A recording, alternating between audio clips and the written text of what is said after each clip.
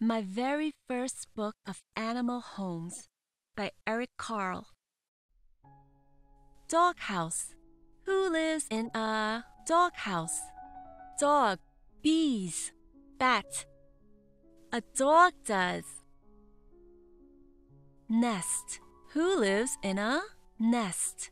Fish, bird, penguins. A bird does. Hive. Who lives in a hive? Turtle, cow, and horse. Bees. Bees do. Burrow. Which animal lives in a burrow? Squirrel, mouse, bat. A mouse does. Cave. Which animal lives in a cave?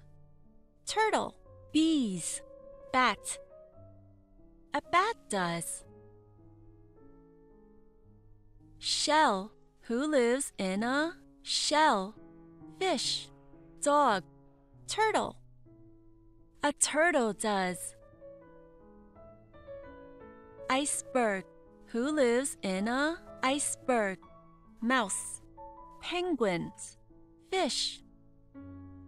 Penguins do. Barn. Who lives in a barn? Cow and horse, dog, squirrel. The cow and horse do. Water.